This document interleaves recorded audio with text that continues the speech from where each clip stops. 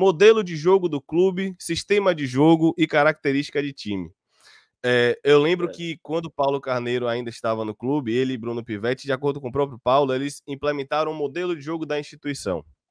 Só que modelo de jogo, eu já trouxe aqui no, no canal diversas vezes, é conceito, não é sistema. Se você vai jogar no 4-4-2, no 4-3-3, no 3-5-2, isso é o sistema de jogo do treinador que ele define. Os modelo, o modelo de jogo é conceito, é relacionado a conceito. E cabe ao treinador aplicar esses conceitos que o clube dá ao norte ou não. Isso depende de treinador para treinador. Você teve algum tipo de acesso a esses conceitos do clube? Você aplica a alguns conceitos, como relação, por exemplo, a REC 5. Você perde a bola, pressiona 5 segundos. Não achou, não pressionou, não recuperou, volta, recompõe um contra um no último terço, que aqui eu já tô até dando spoiler pra galera, que eu sei que no, no, modelo de jogo do clube tem relação com um contra um no último terço.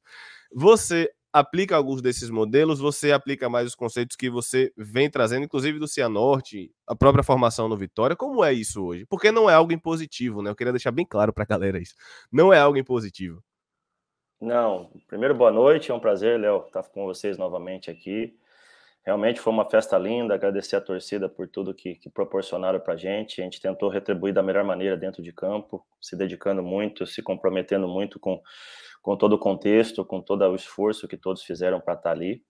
E que bom que saímos com a vitória, mas logo depois no vestiário, pé no chão, já coloquei todo mundo para entender que não tem nada ganho, não tem nada conquistado, a gente precisa novamente construir uma semana de muito trabalho, de dedicação, para que a gente possa chegar preparado novamente para o nosso próximo jogo. É, em relação a isso, é, é, é, algo bacana de se conversar, é um, é um, tema que eu gosto bastante. Eu tenho meu modelo de jogo pronto já, e tenho vivenciado e, visto muitos, muitas situações de clubes, é, algumas discussões.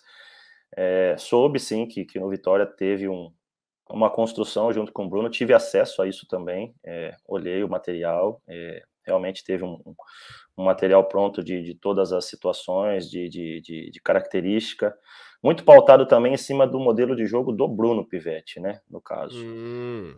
E que junto com os profissionais que estavam na época também davam as suas, opini as suas opiniões e juntos eles construíram o modelo mas tudo tudo em forma de em conjunto e eu não estava presente, eu não posso estar tá discutindo sobre sobre isso. É, o João Bursi é, tem o seu modelo de jogo, é, é, não tenho nenhuma imposição em relação ao Vitória sobre modelo, o que fazer, como jogar, como defender. É algo que eu quis rapidamente colocar para os atletas, porque a gente sabe que é, os últimos três treinadores tiveram modelos de jogo é, é diferente daquilo que, que o João Bursi tem. É, não tem certo e não tem errado, que fique bem claro isso. Se vence, se perde de qualquer forma, é, em qualquer modelo, em qualquer situação.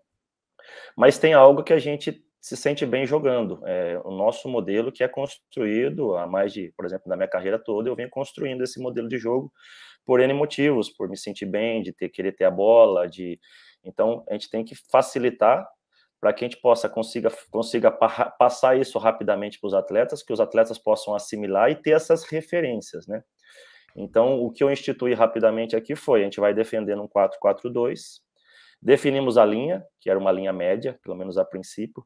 Pela primeira vez e primeiro jogo, a gente subiu a linha aqui, é, no, no, no, Vitória. Então, nesse jogo, a gente subiu um pouco mais a linha, é, mas não o jogo todo porque realmente a gente não está preparado ainda para subir a linha no jogo todo. É algo desgastante, é algo que, que realmente, é, se você não subir organizado, gera muitos espaços e você acaba é, se, se, se, expondo e, e, correndo o risco de tomar gols, e não é o, o que a gente quer hoje. A gente quer estar com um jogo seguro, e para ter um jogo seguro, a gente não pode estar toda hora se expondo. Então, muitos dos momentos, sim, a gente baixou numa linha média, às vezes numa linha baixa, mais organizado, num 4-4-2, com pressão no portador da bola, independente é, em que altura que você vai estar nessa linha, você pode continuar pressionando, continuar incomodando e continuar tendo a presença de todos os atletas dentro daquele modelo. E defensivamente, a gente passa para eles. A gente também pode defender num 4-4-2 numa linha baixa, média, alta, e, e também fazer uma linha de 5 como eu fiz contra o São José, que é um 5-4-1, que é um, faz parte e é, uma, é, é um braço do nosso, do nosso, do nosso, da nossa maneira de jogar. Que, que eles estão também adaptados e estão treinados para fazer. O que, que a gente quer quando a gente está numa linha de 5? Somente tirar a amplitude do adversário, um adversário que tenha muito jogo pelas beiradas. São José e Figueirense. Ou muito jogo aéreo, por exemplo. Então, se você quer só tirar amplitude, às vezes você não precisa colocar um terceiro zagueiro, você pode trazer um volante para trás, a gente treinou essa semana, abrir a linha de cinco e, e, e, tirar a amplitude do adversário. Agora, quando essa bola vem muito, muito bola aérea, então é interessante colocar um zagueiro com três centralizado, você fica mais protegido. Na maneira de jogar, eu há muitos anos já gosto do 4-3-3, é, com um volante 2, podendo ser mais ofensivo com dois meias, ou podendo ser mais equilibrado, que é uma maneira que eu tenho jogado há muito tempo e, e, também tenho transferido aqui, que é um meia e um segundo volante, que é o caso do Dionísio, que é o cara que chega, mas também na hora da recomposição para marcar no 4-4-2, ele faz o papel de volante também. E, e, e, defende muito bem.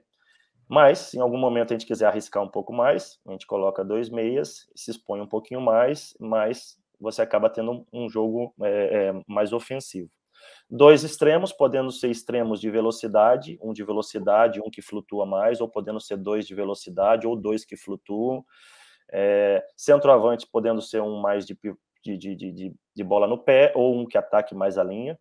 Então, com jogo propositivo, com zagueiros que constroem, com o primeiro volante que tem bom passe, que consiga jogar entre as linhas do adversário, se o adversário está defendendo num 4-4-2, que ele fique sempre atrás, dando essa linha de passe. Se a gente for pensar hoje numa construção ofensiva ou no primeiro terço, na primeira fase de construção nossa, já é uma situação de 7 para 6. A gente tem sete jogadores contra seis do adversário. Já que a gente tem três atacantes na última linha deles, eles são obrigados a ter quatro para defender.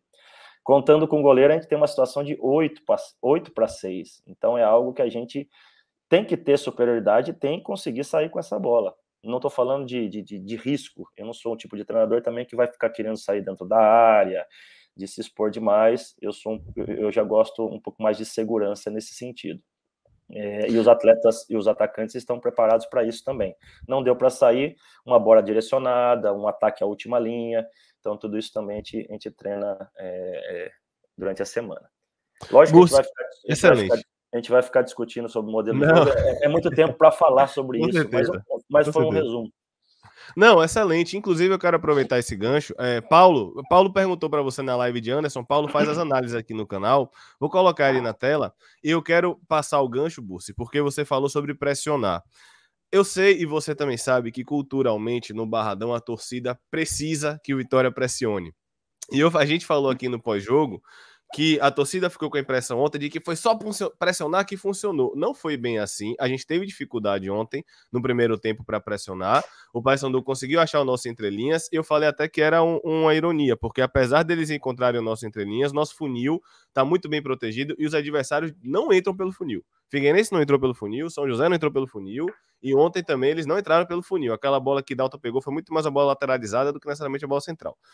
E aí, no segundo tempo, eu percebi, Bus, no primeiro tempo, eu queria até que você me corrigisse, que existia uma certa dúvida na transição se os nossos laterais e zagueiros encurtariam o espaço do entrelinhas ou se protegeria a profundidade, que foi o que o Paulo trouxe aqui, se protegia a profundidade, se segurava um pouco mais. No segundo tempo, eu percebi que os nossos zagueiros, tanto o Alan quanto o Marco, quando a bola entrava em Toscano, quando a bola entrava no pivô, eles saíam da linha e iam pressionar. O que foi que você ajustou? Vou passar perguntar para Paulo se ele quer complementar alguma coisa, mas quero saber porque a gente pressionou no primeiro, teve uma certa dificuldade, e no segundo tempo o gol sai assim, justamente de Rafinha também encurtando, né? Rafinha sai para encurtar, como os zagueiros é. estavam fazendo. Boa noite, Paulo. Até, até te cortando, é interessante a gente falar sobre esse tema. Nós, na nossa análise de, de, de, dos jogos, e principalmente dos jogos do, do desse, do, do Paysandu, a gente, através dos nossos analistas e de, de, de estar tá sempre ali analisando com detalhes sobre o adversário, em todos os tiros de meta deles, eles saíram com três. É, então, o goleiro e mais um volante. Se você, se você perceber, em todas as nossas marcações altas, a gente tirou a perna direita dele. Então, era treinado isso. Em nenhum momento a gente deixava ele sair pelo lado. De... Ele até tentou uma e o Dudu ainda conseguiu chegar no. Mas por que, que a gente fez isso? Porque, como ele é destro, a gente queria empurrar ele para o zagueiro do lado esquerdo, que também era destro. Então ele tinha duas opções: ou ele saía por dentro, ou ele uhum. jogava no zagueiro destro, e a gente tinha um zagueiro com uma perna esquerda não tão forte para tentar achar. Ele tentou algumas vezes no zagueiro e a hora que ele tentou por dentro, o Rafinha roubou. Então a gente tentava, a gente estava realmente induzindo ele para dentro ou para o lado do zagueiro. Ele até insistiu às vezes jogar por dentro, mas numa o Rafinha conseguiu pegar. É, então a gente estava treinado para fazer isso e, e, acabou, graças a Deus, dando certo. E o Rafinha roubar, a gente conseguiu fazer o gol. Isso falando num tiro de meta, né? É, agora, numa linha mais média, é, a orientação no, não era subir toda hora, porque realmente gera um desgaste muito grande. Até porque eles estavam baixando muito com os volantes para construir. Então, Sim. a gente treinou dois Ficava gatilhos. Ficava 3 contra 2, né? Ficava Exatamente. 3 contra 2. A gente treinou dois gatilhos de pressão durante a semana. Numa linha de quatro, que a gente estava bem em dúvida em que sistema ele, ele, mudou muito durante os jogos. Ele, ele fez linha de quatro, ele fez linha de três. Em todos os jogos ele mudou muito. Então a gente não tinha como definir um gatilho, ah, vai ser assim.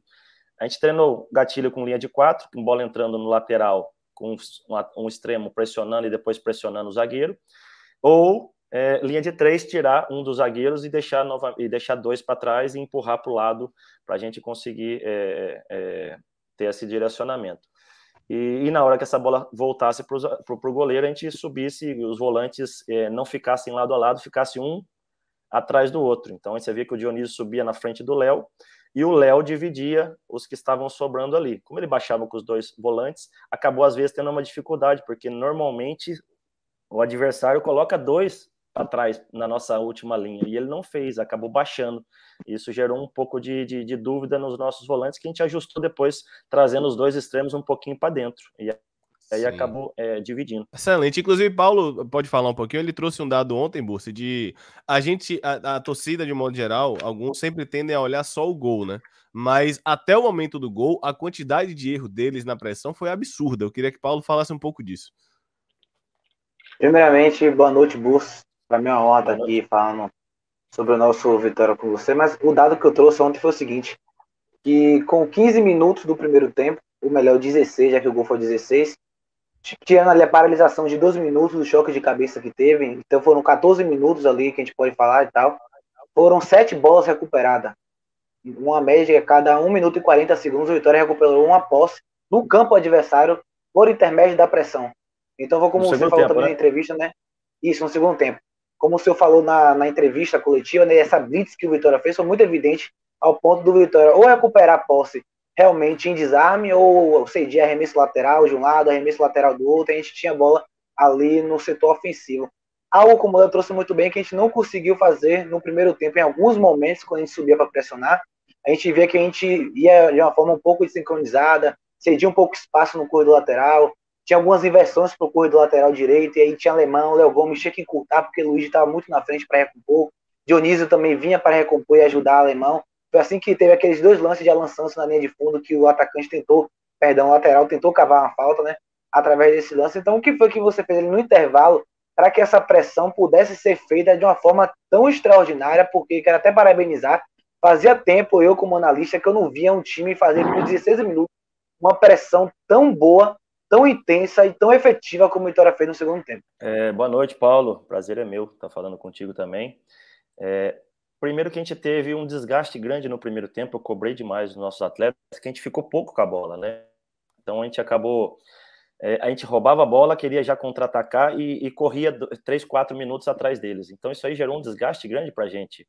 E houve também uma. E eles sabiam disso, a gente tinha combinado que a gente ia primeiro estudar eles. A gente estava tentando entender como ele viria também, né? Para a gente não errar nos gatilhos de pressão. Tanto que a gente errou no primeiro tempo bastante os gatilhos de pressão. É, estabilizou nos 10 minutos, 15 minutos finais, mas no intervalo, com, com, com a ajuda do vídeo, a gente, a gente tinha as informações de, de cima, né? Então a gente colocou na televisão para eles e, e, mostrou aonde estava acontecendo a, a, os erros e aonde a gente podia realmente pressionar de uma vez acabou que ele fez as substituições, ele perdeu também com a qualidade ali no, no, no em alguns momentos. Do lado esquerdo, né? Do lado esquerdo. E, e foi quando a gente conseguiu subir e percebeu logo na primeira pressão que, que, que deu certo. E a gente continuou estimulando eles. Lógico, a gente com 15, 20 minutos, esse desgaste é grande, mas que bom que a gente conseguiu logo nessa blitz do segundo tempo, no início do segundo tempo, fazer o gol. E teve uma diferença do primeiro tempo que a gente conseguiu ficar um pouco mais com a bola. Então, é, para quem precisa subir um pouco mais a linha, precisa também ficar um pouco mais com a bola, senão realmente o desgaste é enorme. Tanto que a equipe dele sofreu demais também nessa parte, também se desgastou quando a gente começou a, a tocar mais a bola.